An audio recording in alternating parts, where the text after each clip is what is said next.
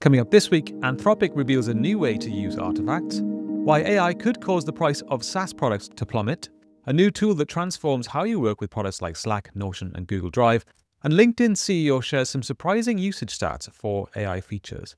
As always, if you enjoy the briefing, hit the subscribe and the like button. So first up this week, Anthropic has released a new feature that lets you create a dedicated space for the mini apps it calls artifacts created with Claude. These apps can now also include Claude's AI capabilities through APIs, but crucially, if a user interacts with it, the app will use their credits, not the creators.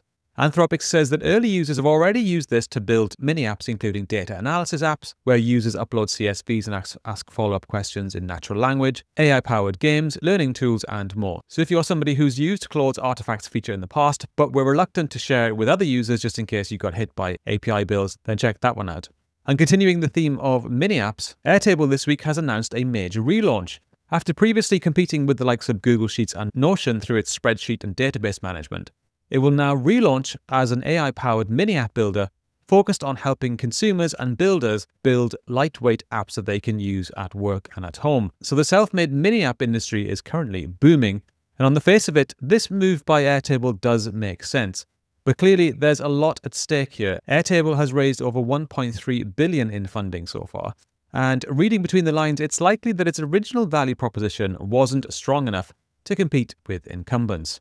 And as more people build these mini apps, the price of niche enterprise grade SaaS could plummet. Replit's CEO this week said that this is having a major impact on the types of prices that vendors are able to charge. So, in one example, he said that a user at a company was quoted $150,000 to create an ERP automation, but instead decided to build it themselves, and as a result, they spent $400 on the process instead. So here's a visualization of this in context. But what should we call this new emerging type of software development?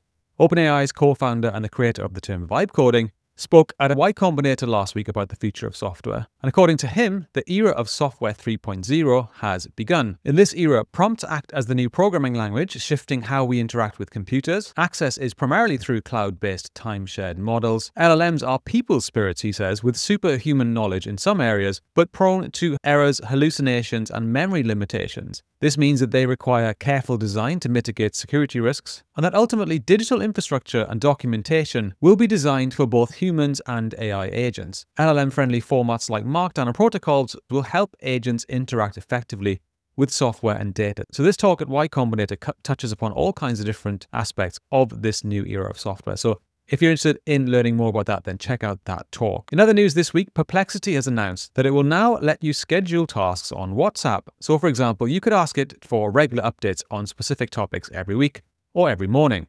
For product teams, this could be useful for things like getting industry news updates or competitor intelligence. Perplexity CEO also teased the release of their upcoming AI browser, but we're still actually waiting on a release date for that. But whilst we wait, a consensus does seem to be emerging that whoever owns the AI browser will own the concept of AI memory. Speaking on X, the founder of Mixpanel said that whoever owns the first AI browser will win AI memory long term.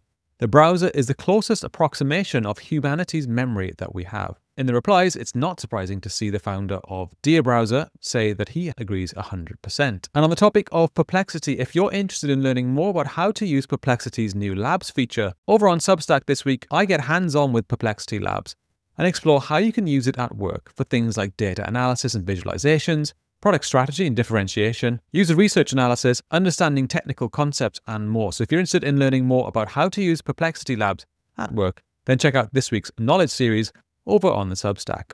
Now let's take a look at some tools you can use. And first up is a product that I came across this week called Pointer.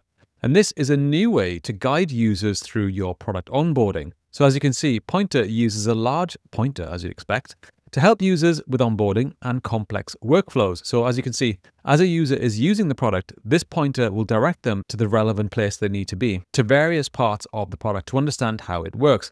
And actually, this this actually looks pretty helpful, and it's not something that I've seen done before. I've seen little pop-ups and tooltips, but I've never seen it quite in this way using a pointer. The downside of this, of course, could be that UX designers become a little bit lazy, and instead of building something that's naturally intuitive, they may think to themselves, well, let's just switch on the pointer and let the pointer direct people in the right direction. Nevertheless, I do think this is really interesting, and if you're looking for new ways to onboard users in your own product, then check out Pointer. Next is a product called Napkin. And I've mentioned Napkin before in the past, but this week they've announced a whole new set of features which gives users greater customization options about the visuals that it generates. If you've not used Napkin before, it essentially scans a bunch of text and then creates different types of visuals that complement that text. The visuals themselves can be a little bit sketchbooky, which may not be suitable for all types of documents, but this new version lets you customize exactly the types of visual that you need. So you can choose flowcharts, mind maps, tables, or anything else, you can specify your preferred orientation, control visual depth, and also edit your own text as well. So if you're looking for new ways to add visuals to your presentations, then I would definitely recommend checking out Napkin. And the final product this week is a startup that this week raised over $30 million from Menlo Ventures for its AI-powered dictation app. Flow is essentially a dictation app, but the difference here is that this dictation app will work across every single product that you use. They say that this is four times faster than typing and it can be used across a whole bunch of different products. And in their use cases, they say that this is suitable for things like customer support, designers, product managers, lawyers, and more. So here's a demo of that in action. Awesome. Fire emoji. I can even use it to help me build out code. Can you help me write a component that will create a nice celebration animation when the user completes their onboarding? And it just keeps me in my flow. Now let's move on to some data and trends from the week. And the first question is, has Microsoft reached peak employees? The company has announced a fresh round of layoffs in the past week, which coincide with the wider rollout of AI at the company. But is AI actually to blame? If we take a look at this graph, you can see there are three core stages of this graph. The first is in the zero interest rate policy stage, or the so-called ZIRP phase, which, as you can see, is where employees grew from 170,000 all the way up to just under 220,000. And then in the get fit stage is where we started to see some layoffs. Since then, in the AI chapter, we've seen another spike in hiring, but this has started to decline since Microsoft announced that 30% of code is now generated by AI. Is this causation or correlation? Nobody's quite sure, but this could just be a temporary blip along the way, but it's something definitely worth keeping an eye on. Another company who has announced more layoffs is Bumble, and this week they confirmed that they are set to lay off over 30% of their workforce. This impacts around 240 positions, and following the news, the company's shares shot up 20%. Now, we don't know if this was directly impacted by AI at all, but it's definitely a sign of the times that companies are increasingly focused on average revenue per employee. And speaking of online dating, this week a new set of consumer apps have entered the charts with a novel twist on dating and matchmaking thanks to AI. So these work by generating an AI pencil drawing of your potential soulmates. So you enter in information about yourself, and then off the back of it, it generates a pencil-based drawing of what their partner could look like. Users can then use these as potential templates in the real world to find their matchmaker. Now, these have both entered the top 10 charts this week, and the company charges $15 a month to do this. Now, we don't know what the retention of a product like this might be, but more importantly, what might the unintended consequences of this might be? If users rely mostly on the drawings of what their potential partner should look like, then this could have all sorts of strange consequences for the types of people that users will allow into their dating pools. What do you think? Is this something that you would use? Let me know in the comments below. Elsewhere this week, a new report from a VC firm shows us just how quickly AI is transforming the consumer product space. Now, this report is over 100 pages long, but it does have some interesting nuggets. And some of these that I found interesting include the fact that OpenAI's 40 billion funding round is bigger than all of the top fundraisers from 2018 to 2024 combined. So that just puts into perspective the scale of the amount of money that OpenAI has raised.